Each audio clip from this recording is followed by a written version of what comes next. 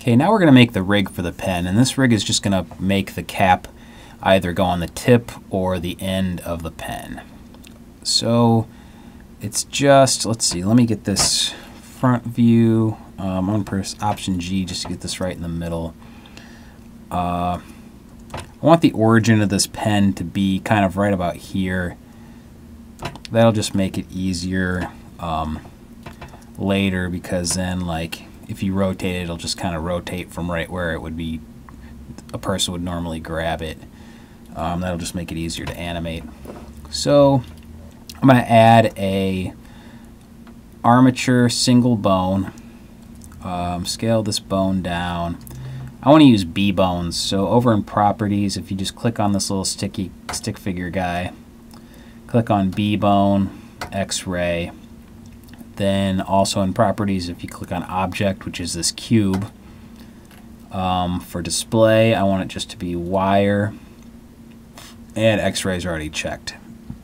Okay, so I'm just going to line this bone up with the pen. Uh, tab to go into edit mode of the bone. Control Option S. Just going to make this bone skinnier. And let's see, let's make it. I kind of want it to be right about the size of the bone. Okay. So, and then um, the other thing I want to do is make sure this is all lined up. I want the origin of the armature to also be right about where you would grab the pen. So what I'm going to do is hit Shift S, cursor to center, and then I'm going to right click on the armature, press space bar, and I'm just going to search for origin. And I'm going to hit set origin, which I guess is Shift Control Alt C origin to geometry. No, I'm sorry. I want set origin. I want origin to 3D cursor. So now, like, if I rotate this armature in object mode, it's going to do the same thing. It's going to kind of rotate like as if you were drawing with it. Um, okay, so in edit mode, I'm just going to duplicate this and make another bone for the cap. And that looks about right. Let's look at the top. Okay. And then I'm going to duplicate that and make another bone. Actually, let's put this one on the top. This is the one that's just going to be the controller that will uh, make the cap go from one end to the other. Okay, so yeah, again, to make this skinnier or fatter, it's just Control Option S and then you can make the bone wider or whatever. I like to have my switcher bones uh, square shaped. Okay, so this bone that's on the pen, I'm going to name pen. And you can find that over here in item on this little bar on the right hand side. Uh, if this isn't open, you can press N and this little side thingy will open and then just look for item. It might be closed kind of like that. So item, I'm also going to name this pen armature blue because the pen's blue. And then this particular bone is going to be called pen. This bone I'm going to rename to cap. And then this bone up here I'm going to name switch. Okay, let's save this. Alright, so Next thing I want to do is um, I want to select the actual object and just grab the cap and then I'm going to create a vertex group for the cap if I haven't done it already. Yeah, I don't think I did. So I'm going to add another vertex group. So just in edit mode with the vertices selected, go over here to the right in your properties, click on this triangle guy, um, find your vertex groups, add a vertex group, and I'm going to name that cap, and assign these as the cap. So now when I control it with this armature, this bone is called cap, so whatever vertices are named cap will get controlled by that bone. Okay, so I'm going to add one more vertex group and call it pen, and then um, I'm in x-ray mode by the way, so just press Z. And then I'm just going to assign that to pen. So now I have a pen, it's going to go to the pen bone, and cap is going to go to the cap bone. So now just with my object selected, hold shift, select the armature, and then just Alt P or Option P, or I'm sorry, it's Control P, Control P, armature deform. Now I think if I select the armature and hit Control Tab to go into pose mode, yeah, okay, there we go. So now, since I named the, the all the vertices in the cap the same name as the bone, I can now just move this cap with that bone. And since I named all those pen, I can move the pen with that. Um, an easy way to get all these back to their default spot is just select them all and hit Option G. Okay, uh, I'm going to save it again. Now, what we want to do is we want a way to make this cap go to either here or here, but we want it to be easy. So what I'm going to do is add a constraint to this bone. So with the cap bone selected, under properties you see like there's this thing that says bone constraints. Click on that. We're going to add a constraint and it's going to be copy location. Okay, so I've got a copy location constraint over here on the right. Um, my target is going to be pen armature, so if you just start typing pen armature blue, and I, it looks like I spelled it wrong, pen armature blue, and then the one, the one whose location I want it to copy is the pen. So pen armature blue, pen. So now the bone goes straight to the end. So like this influence right here is what we're going to want to make a driver with. So uh, now we have to make a driver, um, which is kind of easy. You just right click on influence here and hit add driver. Uh, on the bottom left here, I'm going to change this node editor window into a graph editor. So now I have my graph editor. Um, this little thing down here on the bottom that says F curve editor, I just want to hit that and change it to drivers. And now since this bone is selected, you can see there's a driver. Um, now in this driver window, just press N and you can see your drivers over here. Um, so I want this where it says type, I want this to be sum values. I don't, I don't really know how to explain the best way to explain the difference between all these, but what I'm going to use for this one is sum values, and then um, this is the trans. This is the object, kind of like the object that makes the driver. So we're just going to do pen armature, and we're going to pick the switch. So let's see. Pen armature blue is the object, and then the bone is switch. So its type is going to be X location, and its space, I want to switch to local space. So now, let's see. If we go up here and we grab this bone, the further to the right in X, the further to the right it moves, and the X axis is going to make uh, the cap go on there. So I kind of only want it to move to about this far. Actually, let's add a constraint. Um, I'm going to add a constraint to this switch just to keep it in the same spot so it doesn't get lost. So with this switch selected, I'm going to add another constraint and it's just going to be limit location. And let me just click all these and I'm going to change it from world space to local space. So I want this all to be just point. The minimum should be negative 0.05. I don't know what that means. Negative 0.05. Positive should be 0.05. Or actually, I can't even read that. Let's see.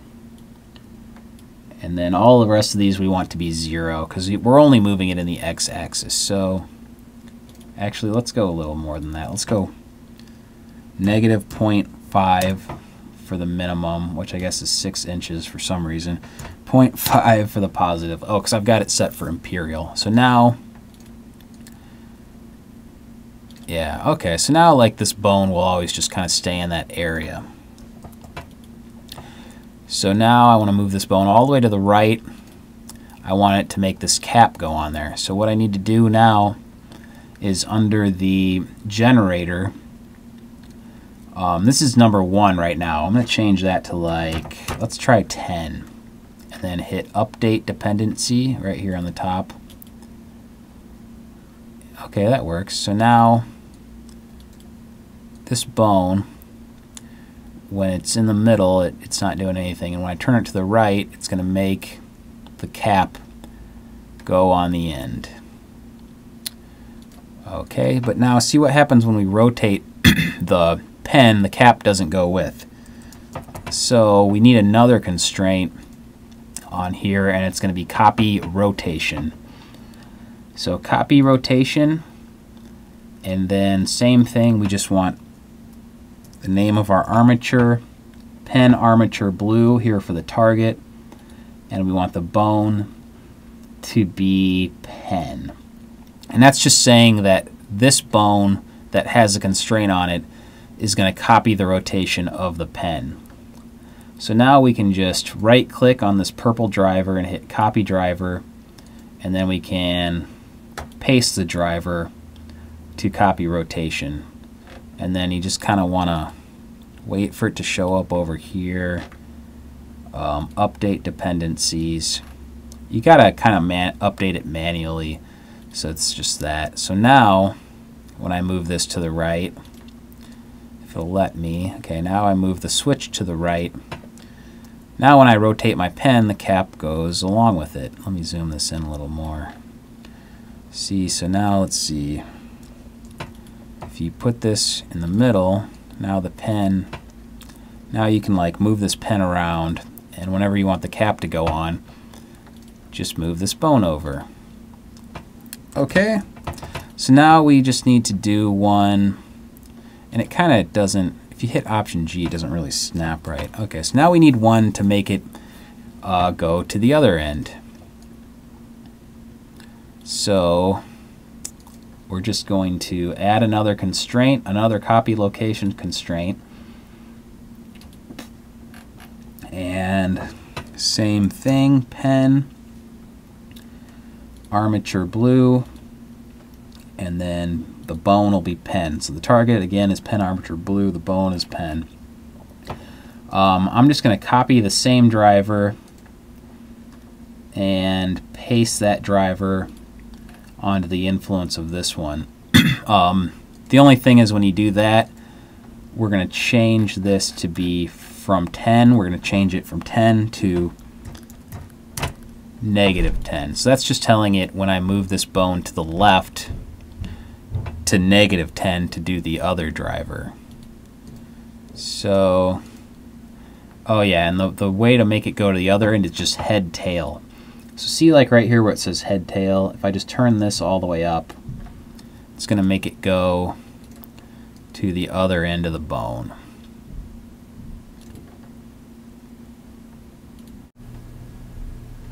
Okay, so now we need another uh, copy rotation constraint on this pen.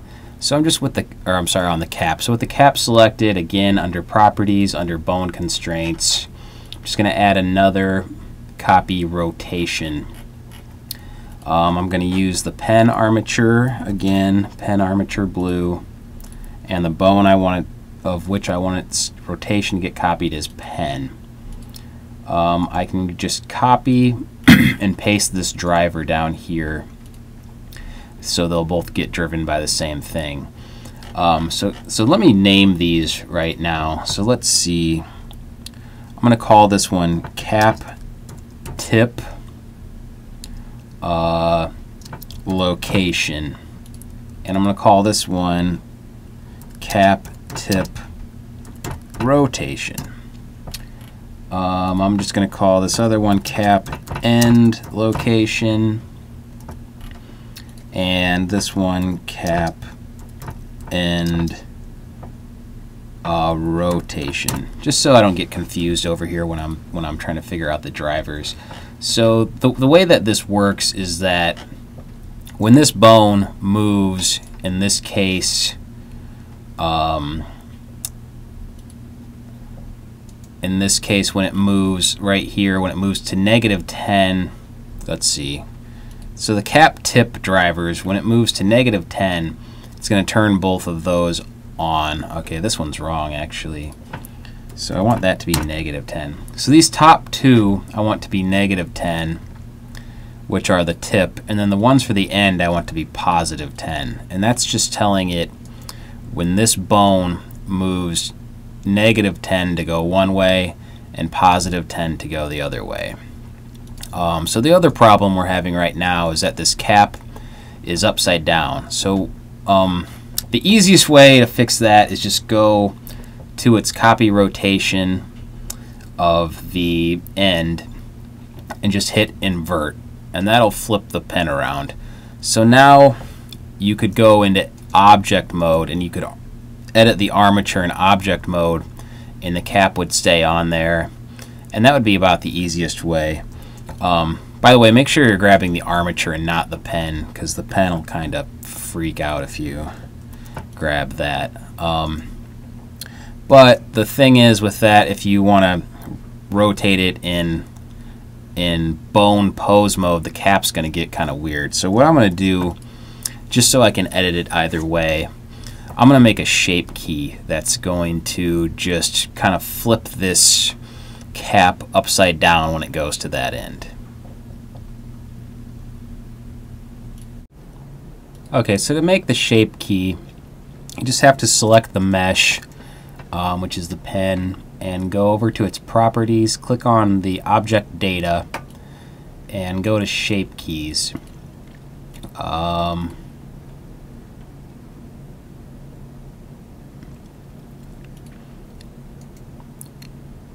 okay, so we need to make a shape key that just spins this cap around. Um, to get a shape key, just click on the mesh, go to its properties, object data, and shape keys. Um, push the plus sign. The first thing is the basis, and that's just the regular mesh. So push the plus sign again, and you'll get your first shape key. Uh, I'll name this shape key cap upside down. Okay, so now just we just need to take the value of the shape key and turn it all the way up. Um, go into edit mode of the pen and I'm going to use this vertex group cap and hit select and then that's just going to select all the vertices in the cap. So real easily I'm just going to R180 and that's going to spin the cap around 180 degrees. Um, so let's test it. Let's go to object mode. Um, over here in our shape key value, just down. That's one way, and that's the other way. All right, let's see what it looks like. It's going to be a little off. I can already tell. So what we need to do is, um, let's see, let's get these bones back to their default space let's just kind of, we have to try to center this reversed cap with this bone. Um, let's see, what does it look like from the top? Okay. Um, let's try that one more time. Uh, yeah, that looks pretty good. Okay, so now we just need to copy and paste the driver to tell it when this cap is on that end, do the shape key that makes it upside down. When it's on that end, don't do the shape key. And that's really easy since we already made the driver. So I'm just going to click on the cap for the bone and go to bone constraints and find the driver. I'm just going to copy this driver, uh, click on the cap mesh, go to its object data, go to the shape key, and right here on value, I'm just going to right click and say paste driver. So now, when this bone moves this way, the shape key uh, is enabled and it flips it upside down. And when this bone is in that way, it it doesn't enable and it's it's the right way. So um, actually that looks like it's not really quite lined up. So um, let me, to fix that, let me go to the basis and yeah, it looks like it could move a little bit along the x-axis. So I'm just going to grab x and I'm just going to move it over a little bit. Um, let's see if it, let's go in. And yeah, it's still kind of not really lined up correctly. So what we want to do, let's see, is just move it over, yeah, a little bit on the x-axis. Too far. Too far the other way. Um...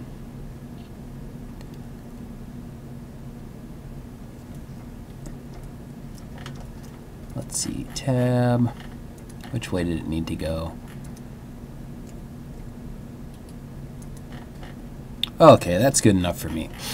Alright, um, let's go to rendered view and see what it looks like. Actually, let's change this window down here to a 3D view. And then um, let me find the bone, the controller bone. I'm going to zoom in on that, which is right here. Then I'm going to change this top window to be rendered view. Excuse me. Okay, so now when I move this, let's see. Now the cap is on one end. That looks pretty good. Let's see what it's going to look like with the cap on the other end.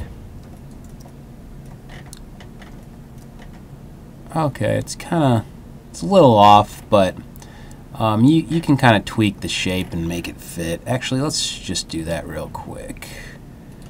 So it needs to move, let's see, to the left on the x-axis. So I'm just going to go to its, my bad, let's see. Got to click on the pen.